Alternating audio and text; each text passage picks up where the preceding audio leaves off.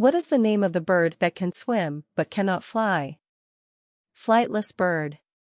Flightless birds are birds that cannot fly. There are about 40 species in existence today, the best known being the ratites, ostrich, emu, cassowary, rhea and kiwi, and the penguins.